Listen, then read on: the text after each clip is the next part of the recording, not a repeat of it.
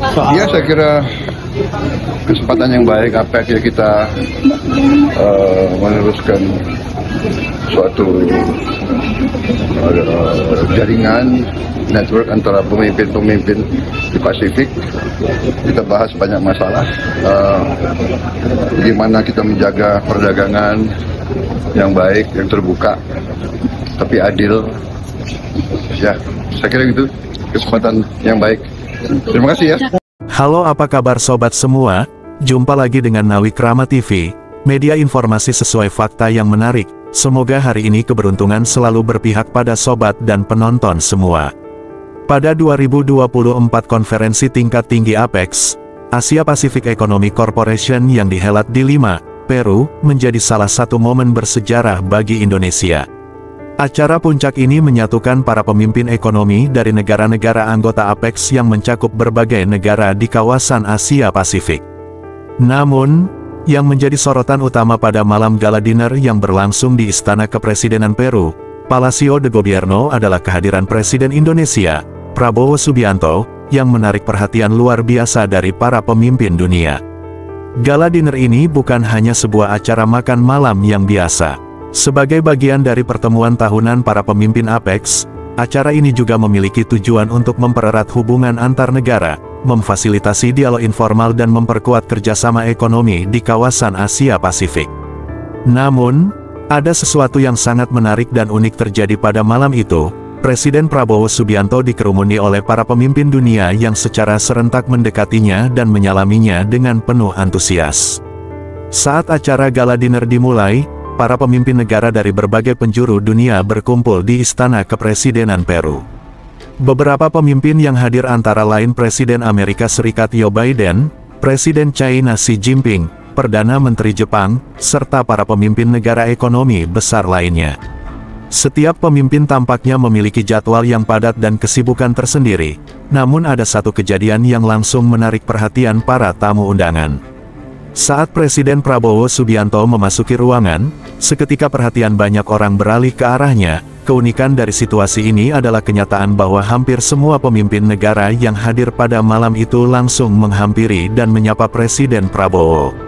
Tanpa terkecuali, mereka semua terlihat sangat antusias dan menghormati kehadiran Presiden Indonesia.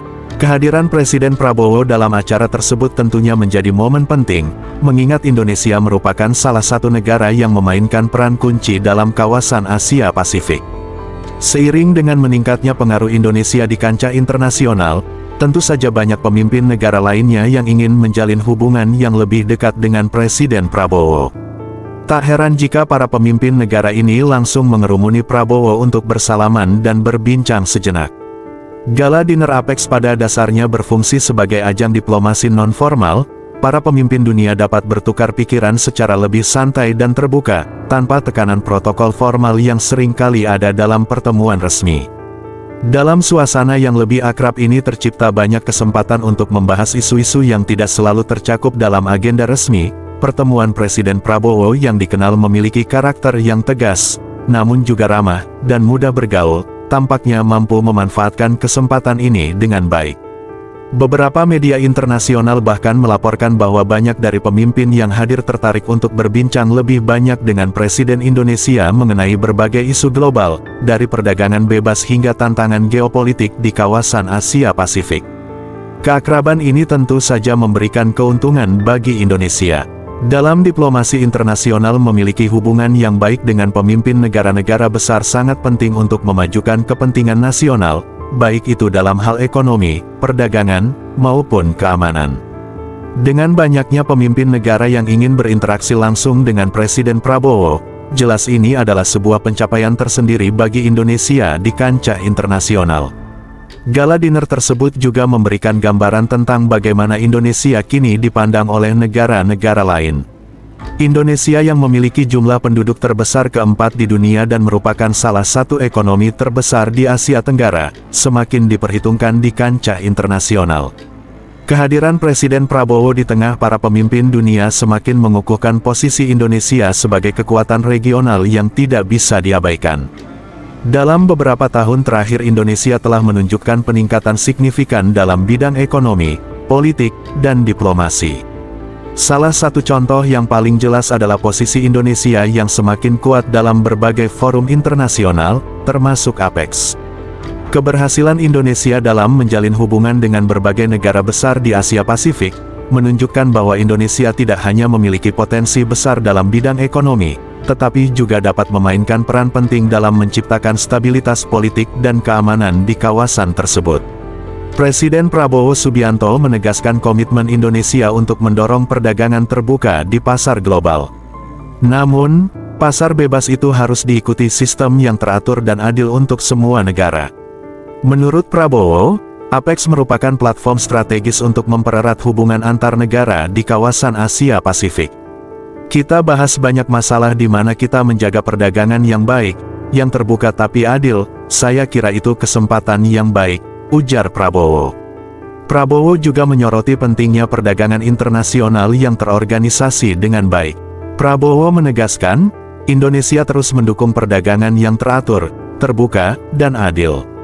Banyak pengamat politik yang menyebutkan bahwa Indonesia di bawah kepemimpinan Presiden Prabowo semakin menunjukkan kematangan dalam menjalankan peran diplomasi global.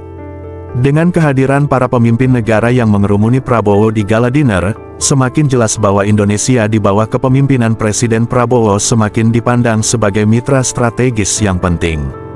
Sebagai pemimpin Indonesia, Prabowo Subianto memang dikenal dengan harismanya yang kuat dan pendekatan diplomasi yang tegas.